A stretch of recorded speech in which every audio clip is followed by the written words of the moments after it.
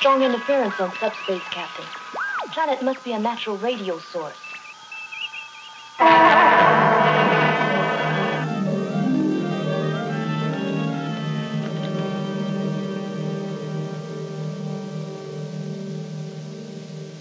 Hi, I'm Nichelle Nichols, but I still feel a little bit like Lieutenant Uhura on the Starship Enterprise.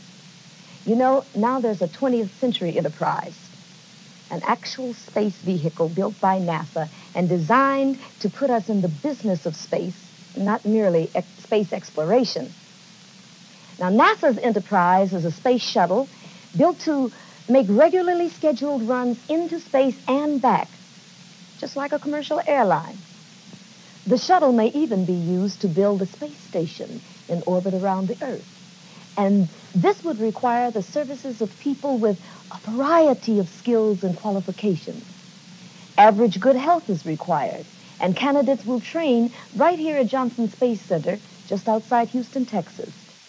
Astronaut Alan Bean has agreed to show me some of the training and evaluation that new astronaut candidates will be undergoing. You're Apollo.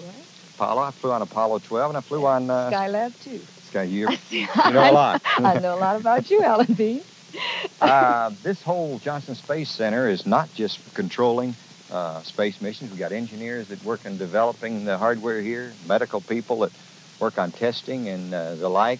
And then we've got some simulators over here where we train in frequently, and I'll. Uh, As a shuttle? Sh- shuttle simulator. Yes, the oh, same sort of thing that the new scientist astronauts, yes. and which we now call mission specialists, Right. and pilot astronauts will be flying over the uh, term that they're here.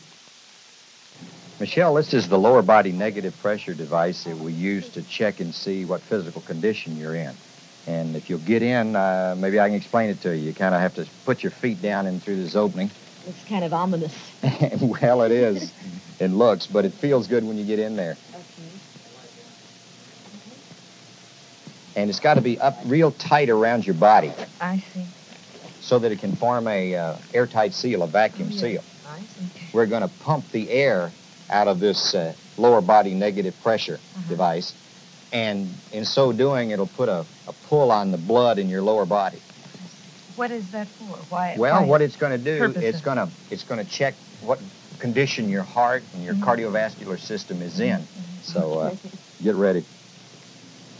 The Enterprise was never like this. no, it wasn't. Okay, you ready? How's that feel? Fantastic. Okay, I can come down here with these controls and change the amount of suction on your lower body to, to stress your heart to different levels.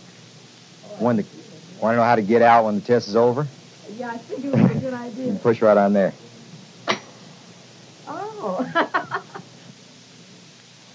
feel like we have one Enterprise that was fantasy, but now we've got the real Enterprise. Well, this this enterprise is half real and half fantasy. Why don't you have a seat over here in the commander's wow, side, it Nichelle? looks just like my Enterprise. Yeah, it does kind of. Well, I'll tell you what it does look like. It looks pretty much like the real shuttle orbiter. Captain, Why at last. Since you're sitting in the commander's seat, Nichelle, let me show you how you might fly it if we were in space. oh boy, huh? Between your knees there is what we call the hand controller, the rotation controller. It operates just like a conventional airplane stick. In that if you pull back uh, on the stick, or the hand controller, uh, it'll raise the nose of the orbiter. Oh yeah. And then if you push forward, it'll lower the nose. If you wanted to bank left for a left turn, you'd push the hand controller left, just like a regular old airplane. Oh, it really is. One thing that's different about this vehicle is you notice we've got some what we call cathode ray tube displays. We got three of them. You don't see those in conventional airplanes uh, because the need to display a variety of information with limited space isn't quite so critical as here. Now, the shuttle will be taking scientists and engineers, men and women of all races, into space, just like the astronaut crew on the Starship Enterprise. So that is why I'm speaking to the whole family of humankind, minorities and women alike. If you qualify and would like to be an astronaut, now is the time. This is your NASA, a space agency embarked on a mission to improve the quality of life on planet Earth right now.